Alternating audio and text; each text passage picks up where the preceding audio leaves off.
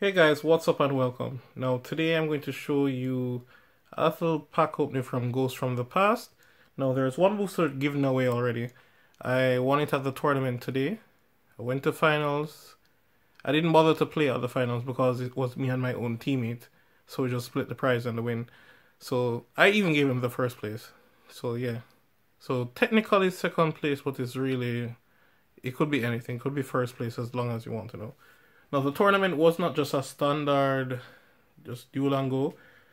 We had a little special thing where we were allowed to use one banned card.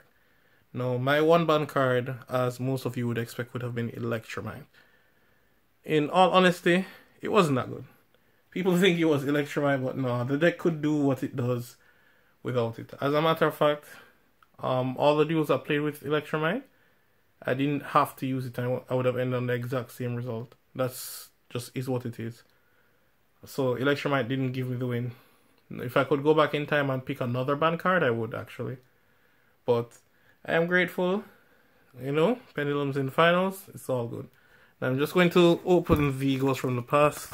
It's already open. I took out one boost already and gave it away to actually one of the subscribers. But yeah. So we're going to open three Actually, these are two of my favorite ones, so let's open this first.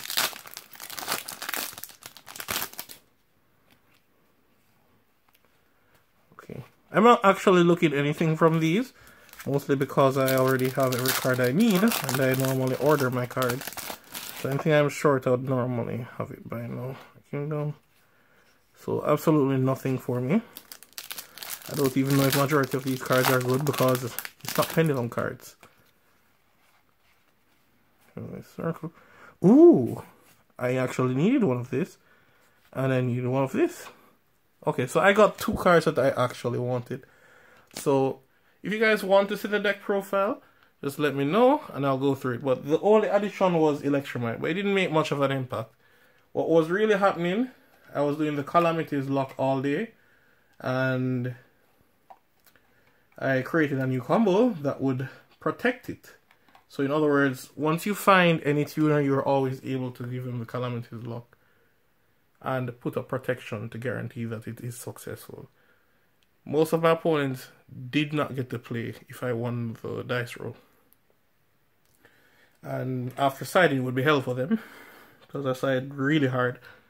But yeah, it was a really good tournament. It was nice. Pendulum's best deck.